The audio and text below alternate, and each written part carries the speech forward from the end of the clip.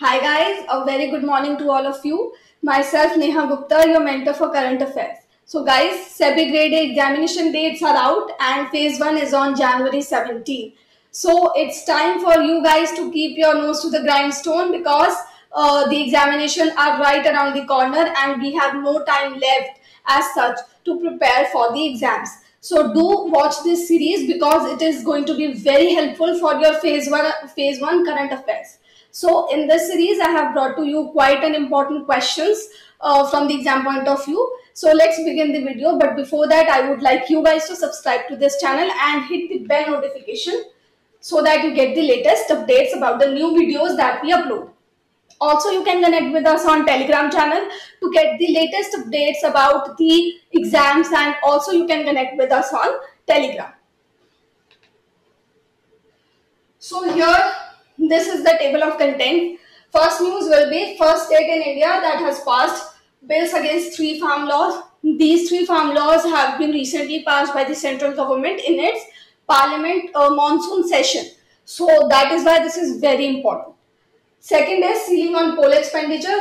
Quite an important news. Why is it important? That you will understand in the second question when we will be discussing the details of this question. So do listen to me very carefully in second question. Then we have a state portal which is MoBidyut. So which state has launched it?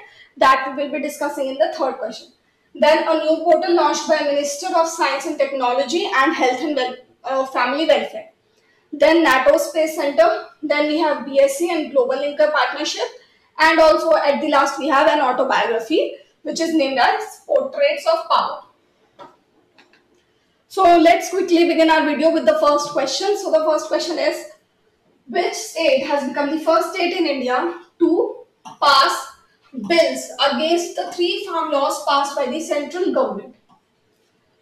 Now guys, first of all, I would like you to apprise with this fact that we have created a video extensively on the three farm bills. So that video is by Manish sir. So you can easily search that video and even if you don't want to search it, don't worry, I will be providing you the link in the description box below. So go, to that video and watch the three bills, understand what the things are and why is it uh, so important for the examination because these three bills are quite in news nowadays. Now let's come back to this question itself. So which state is the first state that has launched bills, that has passed bills against these three bills? So it is Punjab. So recently Punjab has passed three, uh, passed five bills in total and out of those five bills, three bills are against the farm bills that have been passed by the central government. So what are the names of those bills? Let's discuss that.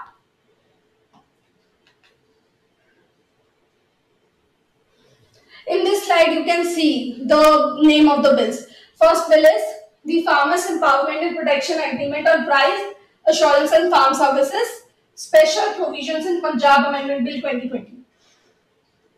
Till here, it is the name of the central government bill and after the after this from here to here, it is the uh, amendment bill that has been passed by the uh, Punjab government. So this is the complete name of that bill. Then second bill is the Farmer Produce Trade and Commerce Promotion and Facilitation Special Provisions and Punjab Amendment Bill. Third is Essential Commodities Special Provision in Punjab Amendment Bill 2020.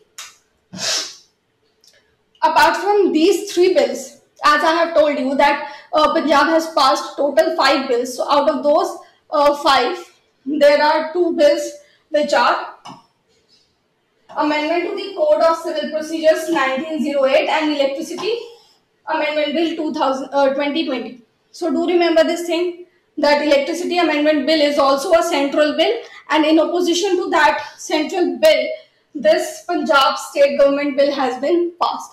So that's that is for this question because uh, we have covered everything from the phase one point of view. Now the details of the, uh, these bills will be required in the phase two examination.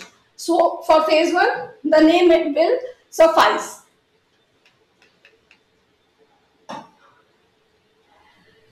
So let's discuss the second question because we have discussed all that we need to discuss in the first question.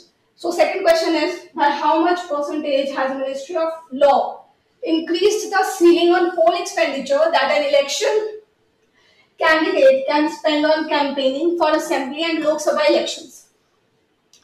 You would be thinking that why? Why are we discussing the poll uh, expenditure of candidates? The first reason is that first of all it has been done by Ministry of Law and secondly the months which are preceding the examination date, at least six months current affairs are very important. And out of these six months, the months which are immediately preceding the examination date, that is two, three months ago, uh, the current affairs which are mentioned uh, in the two, three months are very important. That is why this is important. We cannot leave this right away. We have to pay attention to these minute details as well. So by how much percentage eh, has it been increased? It is 10%.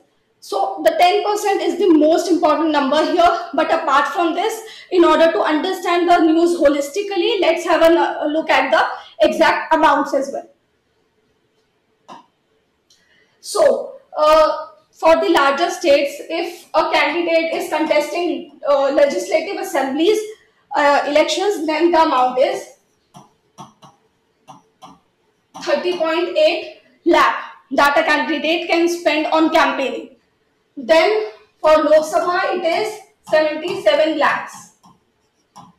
Now these limits are for larger states. Now you would be thinking what are larger states? Larger states are those states which have large population and the size of their constituency is comparatively larger than the other states. So this is the limit. Now, what is the limit for smaller states? It is for um, legislative assembly it is 22 lakhs. For Lok Sabha it is 59.4 lakhs. Approximately 60 lakhs. So these are the four uh, amounts, these are the four digits that are mentioned in the news itself. But what is the most important number here? It is 10%. So do not forget this number and uh, this much is for this news. Let's move on to the third question. Which state has launched the Mo Bidyut, an electricity consumer service portal? What is the purpose? To bring uh, the electricity services, to provide the electricity services online to the citizens. Now, which state has launched it? From the word Mo. Many of you have guessed the answer. I know that. But those who have not guessed this answer yet, let me tell you that this is an Oriya word which means my in English. Vidyut is electricity. So the answer is Odisha. Quite an important question it is. And now you will be uh, you will be telling me the capital of Odisha as well as the CM of Odisha. CM, I have asked you many a time, so I know that majority of you have uh, uh, do know the answer. But those who do not comment uh, in the comment section below, please mention what is the uh, capital of Odisha and who is the CM. And those who regularly commented can leave this question for now. Now we have the next question, which is what is the name of the online portal launched by Minister of State, uh, Science and Technology and Health and Family Welfare, who is Harsh Vardhan, to provide information about CSIR assured repurposed drugs and their current state of trials. So, basically a portal has been launched and what is the purpose of that portal? The purpose is to provide information about CSIR assured repurposed drugs. So basically whatever the technologies, whatever drugs CSIR is using to treat people and to, uh, for the treatment of COVID-19, uh, the information of all that will be provided on this new portal. So what is the name? The name is Cured. Now, as you would be thinking that since it is in the toggle case, then there would be a, a full form of this as well.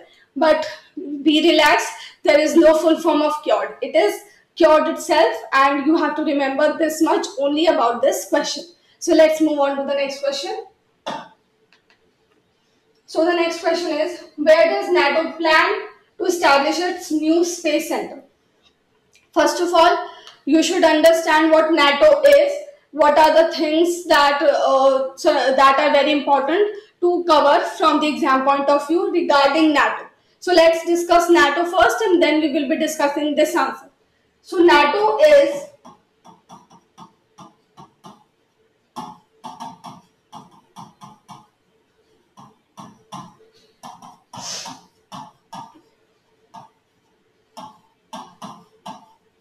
North Atlantic Treaty Organization. So this is the full form of NATO. Do remember this thing. It, it is an organization that was formed in 1949 in Washington. Now why was this organization formed? The reason is to promote collective uh, peace and to promote security among the members of this organization. Uh, this organization was formed. So who are the members and how many countries are the members of this organization? So there are total 30 countries from Europe and North America. So these are the two regions from where uh, the member countries of joined NATO. So Europe and North America and total number of countries are 30. Purpose is to promote collective and peace and security. So that's all for NATO. Let's discuss the answer. So the answer is Germany. In Ramstein, Germany, Ramstein is a place where NATO is planning to establish its space center. So in Ramstein, Germany, NATO is planning to uh, establish this space center. And these are the details regarding NATO that you should never forget from the exam point of view. Now my question for you is that you have to tell me the capital, currency and PM of Germany. So this is the static information. Uh, these are the static facts regarding Germany that you should be telling me in the comment section below. Next move, uh, let's move to our next question. Uh, which state government has partnered with Bombay Stock Exchange and Global Linker to help its MSMEs raise equity fund. Quite easy purpose for the partnership. So which state government has done so? It is Telangana. Telangana has partnered with Bombay Stock Exchange and this Global Linker is a company. So with these two agencies, Telangana government has partnered to help the MSMEs present in the state raise capital. Now, who is the CM of Telangana? That is your question for the day that you will be telling in the comment section below. Then comes our last question of the day. So the last question is whose autobiography is titled as Portraits of Power? So the answer of this question is N.K. Singh. Do remember this thing because N.K. Singh is also the chair of 15th Finance Commission and it is his autobiography. So do remember the facts that I have told you here and here our session com comes to an end and I hope that you have really liked this session. And if you have, then do subscribe to our channel and give a thumbs up to this video. Thank you so much.